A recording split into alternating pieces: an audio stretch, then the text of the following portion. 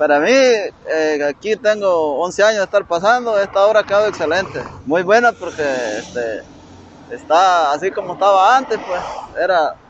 una muy estrecho y, y ahora pues ya se ve la diferencia entre la vez pasada. Como ciudadano y,